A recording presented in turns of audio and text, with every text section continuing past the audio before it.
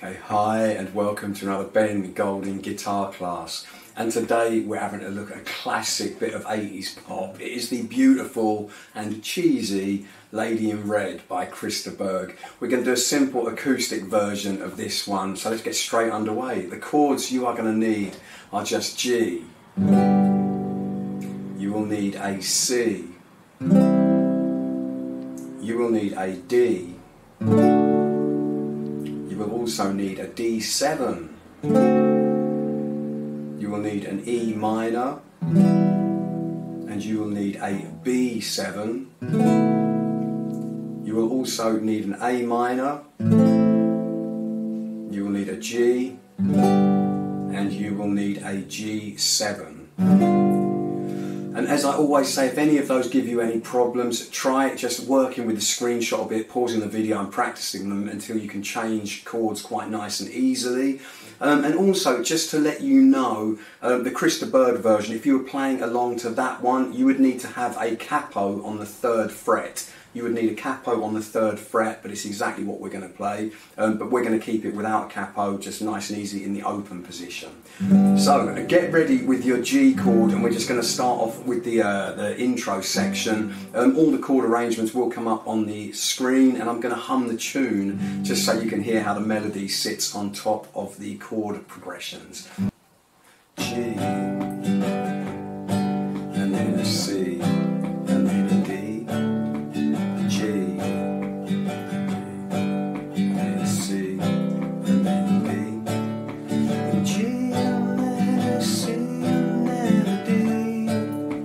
said.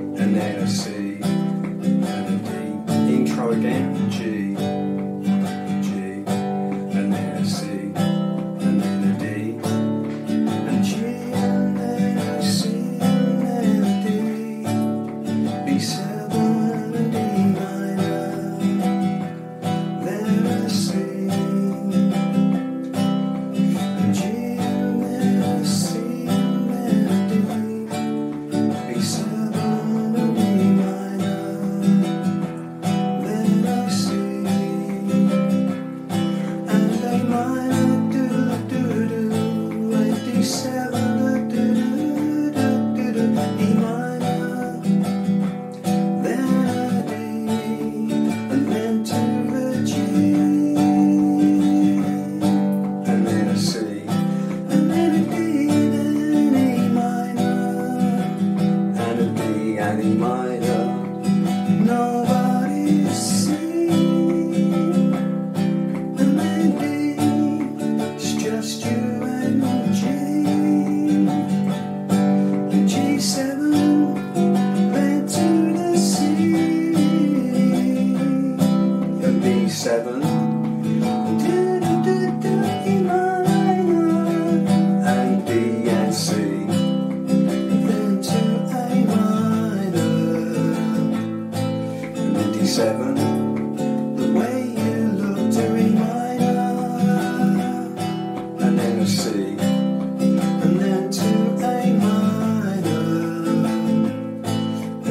7, the way you look to G,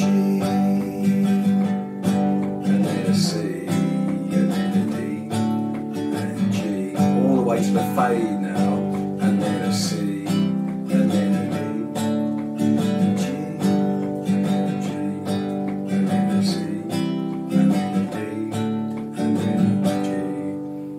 Okay, so not too bad there, fairly straightforward, a nice, easy acoustic version of The Lady in Red by Chris de Burgh. Practice the vocals, it'll sound fantastic, and it works really nicely as an acoustic version, that one, so that's a great song. And don't forget, the Chris de Burgh version would be exactly that, but with a capo on the third fret.